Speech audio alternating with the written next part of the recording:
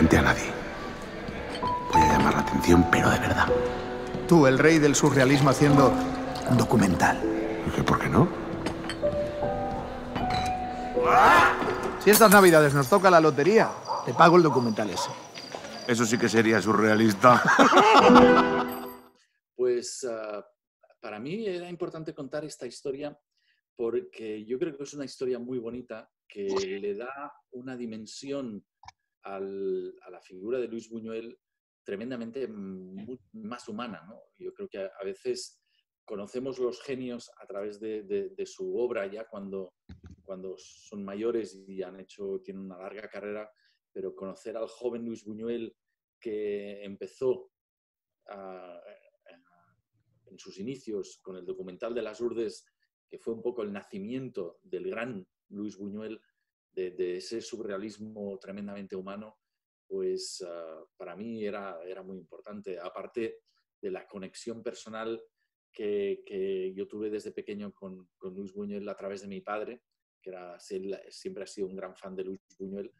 Y bueno, y de pequeño recuerdo cuando tenía nueve años, mi padre llegó a casa muy entusiasmado porque había visto una película donde habían unos señores me contaba él, que habían unos señores en una habitación que no tenía puertas, pero ellos no podían salir de la habitación. Y yo con nueve años no entendía nada. Entonces, de alguna manera, ese fue mi primer contacto con Luis Buñuel y luego a través, ya cuando vas creciendo, pues fui conociendo su obra, con lo cual para mí Luis Buñuel era un personaje de referencia, ¿no? Y tener el honor de poder contar un poco su historia, pues ah, evidentemente era, era un sueño hecho realidad. Asurdes. Unas 8.000 personas en 52 pueblos.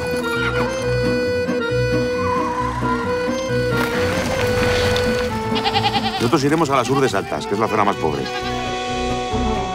¿Qué le pasa a la pobre? Lleva unos días malas. La racha, morir. Ah, Esto no es una película convencional, Ramón. Esto es la realidad, pura, desnuda.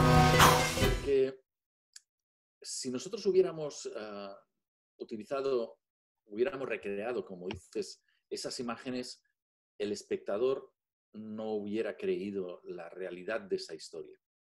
Yo creo que las imágenes del propio documental le dan una dimensión real a todo lo que ocurrió, ¿no? Y además yo creo que no había mejor manera de representar las urdes en aquel momento que las propias imágenes que rodó Luis Buñuel, ¿no? Era un honor, es un honor tener esas imágenes en, esa película, pero, pero además yo creo que, que le dan una dimensión, un peso a la historia que por otro lado nos permite contar otras cosas con la animación y esas imágenes ayudan un poco a aterrizar la historia, en, en- mantienen esa historia sentada en el suelo, ¿no? Ap- apoyada en la realidad. y por, a otros niveles podemos contar con las ensoñaciones, con muchas otras cosas, pues los complejos que él tenía, sus miedos, su infancia, etcétera, etcétera. Se supone que, que hemos venido aquí para cambiar las cosas, para ayudar a esta gente, no para andar jugando. Esta fantochada es más propia de Dalí que de ti.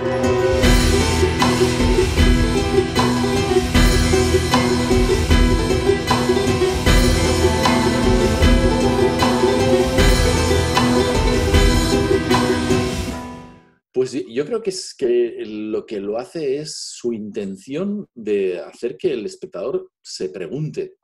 Y no es tanto esas las imágenes que utiliza, sino cómo las utiliza y qué es lo que pretende. O sea, él lo que pretende es provocar a ese, al espectador y que tú te preguntes qué está pasando, por qué está ocurriendo esto. Y son esas imágenes. Por eso las vemos como tan impactantes, ¿no? porque realmente nos, nos destrozan todos nuestros miembros de la realidad y nos hacen preguntar qué es lo que está ocurriendo a nuestro alrededor. ¿no? Y es un poco lo que a, a lo largo de toda su carrera, todas sus películas, de alguna manera han hecho. ¿no? Es, wow, ¿qué, es, ¿qué ha pasado aquí? ¿Qué estoy viendo? ¿no? ¿Es esto real? ¿No es real? Son películas que no te dejan Ah, te, po- te podrán gustar más o te podrán gustar menos, pero no te dejan ah, impasible. ¿no? Yo creo que son películas que de alguna manera mm, te, te, te hacen cuestionar las cosas. ¿no?